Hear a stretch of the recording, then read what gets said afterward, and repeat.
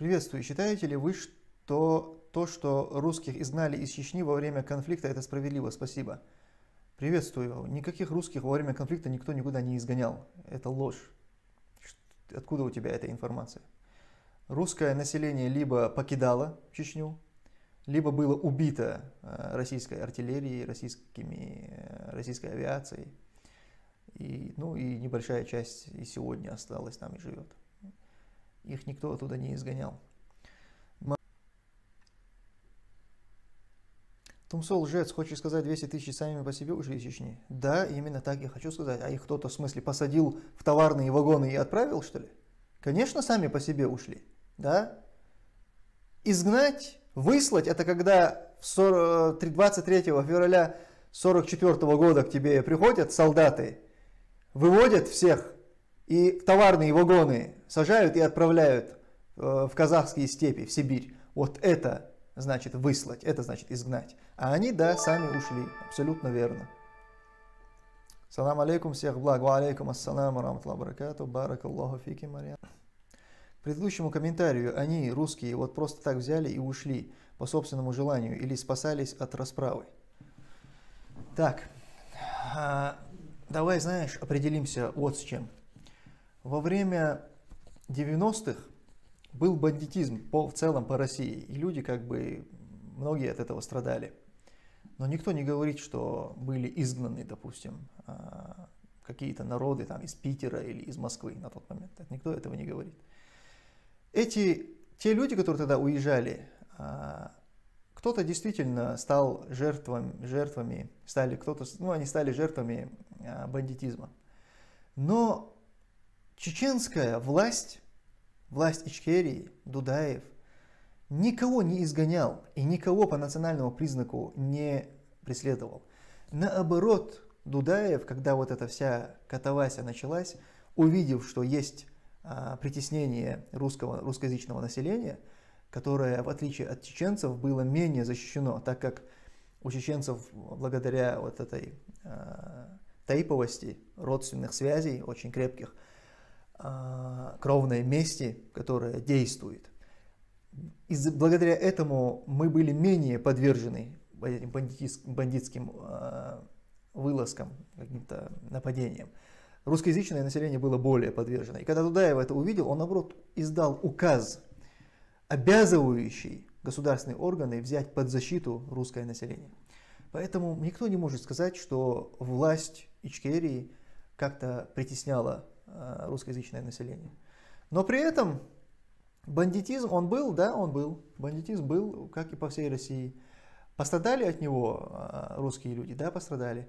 Бежали от него русские люди, да, бежали. Но основная эта масса людей бежала от чего? От российских авиаударов, артиллерийских ударов. Вот от чего бежало э, основное население. Потому как артиллерия, вот этот снаряд, который летит, он не разбирает, ты русский или ты чеченец. Плевать он не хотел. Самолет, который летит э, и скидывает на тебя бомбы, он тоже понятия не имеет, там, русский человек или э, не русский. У меня в школе, я учился в Ичкерии. Все свое школьное э, детство я учился при Ичкерии. И все мое школьное детство у меня были русские учителя, в основном. Классные руководители, все были русские люди. У меня было очень много соседей, я жил в Грозном, у меня было много соседей, русских людей. И большинство из них погибли. И большинство из них погибло от российских, российских а, артиллерии, там, авиаударов и так далее. Вот и делаю выводы. Подождите, я сейчас чеченцев не трогаю, это отдельная тема. Нет, Когда... чеченцев. Там русские семьи выгоняли целыми семьями, убивали, из домов выгоняли. Неправда. Почему Неправда. войска туда вошли потом? После этого и вошли. Неправда. Специальные войска вошли в Чеченскую республику после того, как начали уничтожать семьи, э, русские семьи и выгонять оттуда. Там, там просто бежали оттуда, потому что убивали всех. Но это неправда. Ну как? Ну давайте тогда, если вы не хотите отвечать про тех 307 русских, и вам важно, что убивали чеченцы, давайте я там тогда вам задам такой вопрос. Это было массовое убийство, правильно, если люди бежали? В Чечне было массовое убийство русского населения, правильно вы говорите? Да. А, соответственно, а, должны были войти под предлогом защиты русского населения. Заходили под предлогом восстановления конституционного строя. Вы помните эту формулировку Первой войны? Ельцин приказал и, и зашел. Смотрите, ладно, тогда давайте так. Если... Я понял, я, я вас понял, чему вы намекаете. Я уже понял. Ну, смотрите, если в 1994 э, году вводили войска из-за того, что чеченцы устроили геноцид над русскими, правильно? Устроили. Вот. Где? А, два вопроса простых. Роман, серьезные вещи обсуждаем, да? Это часто русские нас обвиняют, и я сам много об этом говорю с русскими. Я, я пока еще ничего не обвиняю. Ну, я обвиняю в том, что был не геноцид, а гонение народа российского с э, Кавказа. Ну, э, гонение в чем заключалось? Их, ну, их убивали? Их убивали? Убивали женщин, детей. Много убивали? Или это был единичный бытовой случай? Я вам не скажу, сколько убивали. Не, ну сколько? Тысячу, две тысячи, сто тысяч? Да? Ты скажите, гонение в чем, Роман? Ну, это понятно. Гонение в чем заключалось? Убивали русских, убивали, я не знаю, убивали, гнали, я не знаю. Ну как? Ну, а я вам скажу, я вам скажу, я, а я вам скажу, Роман, я вам скажу, что у Дудаева жена была русская. И по национальному признаку, в принципе, такой политики, даже исходя из этого, не могло быть, потому что Дудаев не был, по крайней мере, антирусистом или каким-то националистом. Во-первых. Во-вторых, он был советским генералом. Советским генералом которому генералу не дали бы, если бы он проявлял бы какие-то моменты. Это во-вторых. В-третьих, у нас Дудаевым была создана комиссия за контролем, потому что ваша пропаганда, как сейчас в Украине вы врете, точно так же вы врали и про нас, Чечню. И вы говорили, что русских там убивают, геноцид устроили, 200 тысяч вырезали и так далее. Так вот, а, Дудаев создал специальную комиссию, за контролем, за правами русского, русскоязычного населения Чеченской Республики.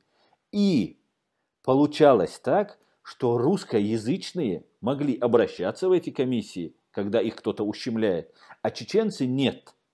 Соответственно, в государстве, в чеченском государстве по конституции все граждане равны, но у русских были привилегии больше – это небольшая привилегия, я ничего против этой привилегии не имею, потому что ваша пропаганда днем и ночью понимаю. врала.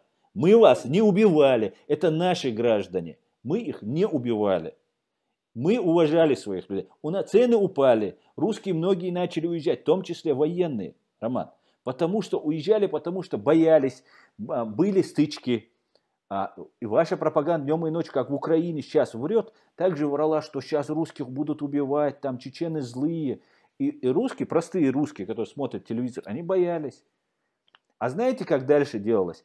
Они продавали квартиру чеченцам и выезжали. Когда все, ну, много людей начало уезжать, цены упали. И вы знаете, это был 91 год. Роман, вы меня слушаете? Я для вас это все рас... Вот смотрите, цены упали, когда массово продают. Плюс 91 год, помните, какое-то время было, 91 92 год. Ну, может, слышали, какие тяжелые времена были для всей...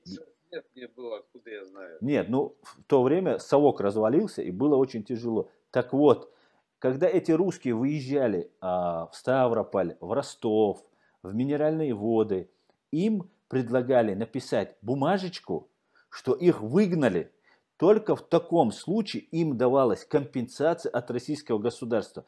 Те русские, которые проявляли принципиальность и говорили нет, а что у вас квартиру отобрали и вас выгнали, кто проявлял принципиальность, их обзывали предателями. Им надо было прожить 50 лет рядом с чеченцем, прийти и оговорить этих чеченцев, сказать. И они говорили нет. Им говорили, со мной учились русские. У меня в классе, я только, э, нас двое чеченцев всего было. У нас все русские были, армяне, русские, евреи. И сейчас мы общаемся с некоторыми, и они говорят, ну вот так нас вынуждали, мизерную получить компенсацию. Это об этом.